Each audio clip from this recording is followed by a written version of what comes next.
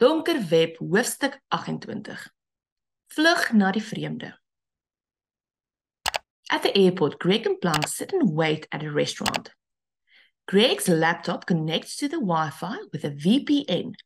Plank goes to smoke and Greg knows he needs to get rid of his phone. He phones his mom. She tells him she is alone and looking at old photo albums on the computer. Greg remembers that John never wanted to sleep Greg's mom says that it is as if he knew his life would be too short. Greg tells her he's going to Turkije and that Plank is going with him.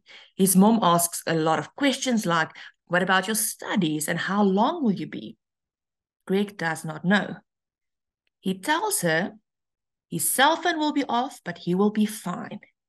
They say goodbye and she says, Bly veilig, John. And he says, It's Greg, Mom. 11 hours later, they arrive at the new Istanbul airport. Plank goes and buy a new SIM card at Turkcell.